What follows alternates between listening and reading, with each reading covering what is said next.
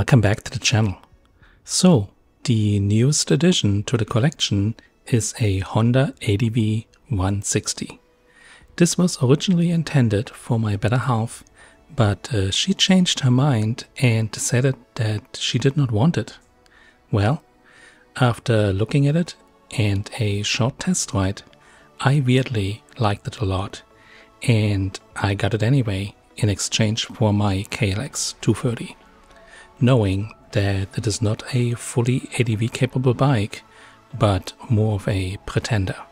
Or is it? With its increased ride height, lightweight, semi off road tires, and that sexy twin Showa suspension in the back, it is ready to explore, and I will be putting it to the test and see just how bad or good it actually is.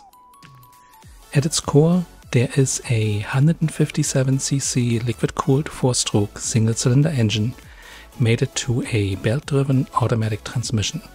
Honda advertises 130 plus miles to the gallon, but in real world I have so far seen about 100 in the city and 75 to 80 on the highway. Speaking of highway, Thanks to its little bump in displacement, it is actually capable of 65 miles an hour all day long and tops at 70 miles. Not bad at all, if you ask me. Selectable torque control is on board, just like on a Africa Twin. The underseat storage is good for 30 liters, plenty for all kinds of gear or grocery shopping. The windshield is adjustable Pretty nifty for such a small scooter. All lights on the bike are LED, thank you for that Honda. The cherry on top is the good looking dash with all the necessities like rev counter, speed, voltage, coolant temps, fuel level, trip meter, and all the fuel statistics you could want. But what totally blew my mind is that this little scoot even comes with a wireless key fob a la BMW. There is a switch on the right side that will allow you to start the bike without a physical key, as well as open the fuel door and unlock the seat bank. If you could not tell by now, I am fairly impressed with this little scoot, which is probably why I bought it anyway, and you get all of this for $4,500 here in the US.